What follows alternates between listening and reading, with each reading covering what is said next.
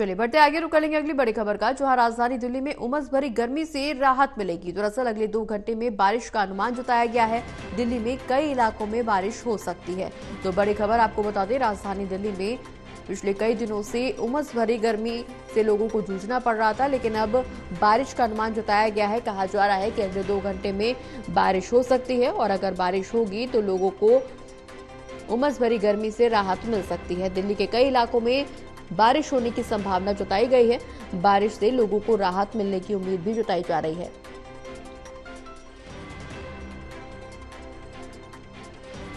तो बड़ी खबर आपको बता दें, जहाँ दिल्ली में बारिश को लेकर अनुमान जताया गया है। दिल्ली के कई इलाकों में बारिश हो सकती है। अगले दो घंटे में बारिश का अनुमान जताया गया है। उमस भरी गर्मी से लोगों को राहत मिल सकती है।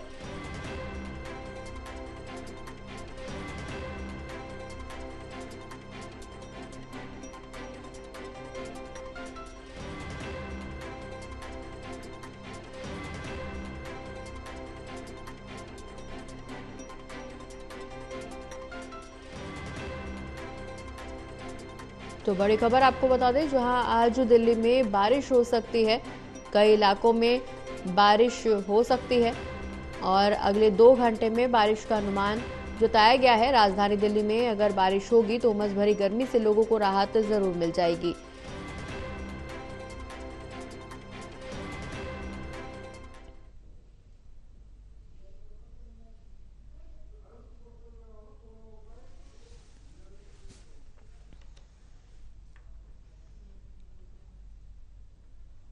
तो अगले दो घंटे में बारिश होने का अनुमान जताया गया है। बता दें कि उमस भरी गर्मी से लोगों को राहत अब जल्द ही मिल सकती है। दिल्ली में बारिश की उम्मीद जताई जा रही है। अगले दो घंटे में बारिश हो सकती है और अगर बारिश होती है तो ऐसे में दिल्ली वासियों को उमस भरी गर्मी से राहत मिल जाएगी।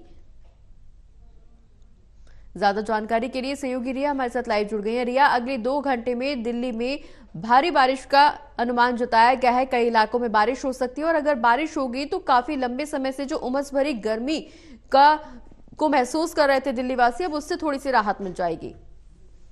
प्रगति राजधानी दिल्ली में जैसा कि हमने कल देखा था, बीते दिन काफ़ी ज़्यादा जो बारिश है वो कई सारे क्षेत्रों में देखने को मिली। उसके बाद से अब मौसम विभाग ने अनुमान जताया है कि राजधानी दिल्ली में जो उमस भरी गर्मी है उससे राहत जनता को मिलेगी, क्योंकि अनुमान लगाया जा रहा है कि अगले दो घंटे में जो तेज बारिश है, यानी कि जो वर्षा है, उसके होने की संभावना है।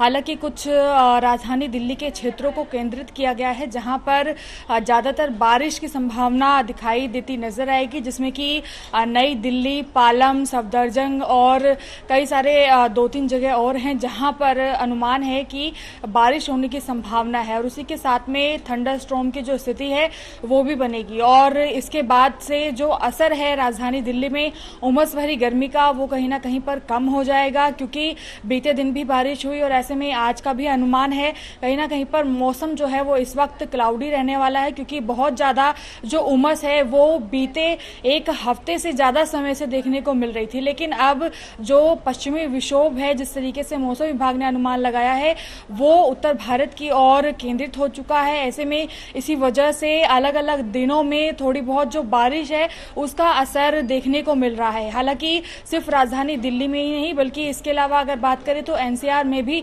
बारिश होने की संभावना को जताया गया है। और इसके असर की अगर बात करें तो लगभग अभी एक दो दिन तक ऐसा ही अनुमान आ रहा है कि बीच बीच में रुक कर जो बारिश का असर है, वो कहीं कहीं पर देखा जाएगा। उसके दर्ज होने की संभावना है, जिसकी वजह से जो बहुत ज़्यादा उमस यानी कि ह्यूमिडिटी का जो असर इस वक्त राजधानी दिल्ली के लोगों को सहना पड़ रहा है, उससे उन्हें कहीं ना कहीं पर राहत मिलेगी। तो ऐसे में दिल्ली वालों के लिए ये खबर काफ़ी ज़्यादा सकारात्मक है, क्योंकि बहुत ज़्यादा उमस पिछले कई दिनों से हो रही थी, जिसकी वजह से हालाँकि धूप का असर उतना ज़्यादा नहीं था, लेकिन ह्यूमिडिटी ह्यूमिडिटी की वजह से जो गर्मी है, उसका एहसास रुकने का नाम नहीं ले रहा था। ऐसे में जब बारिश होगी तो बारिश की वजह से जो जमीनी नमी है, वो कहीं ना कहीं पर गायब हो जाएगी और उसकी वजह से जो ठंडक है, वो मौसम में राहत का काम करेगी प्रगति। चलिए बहुत बहुत शुक्रिया रिया। ये तमाम जानकारी हमारे दर्शकों तक पहुँचाने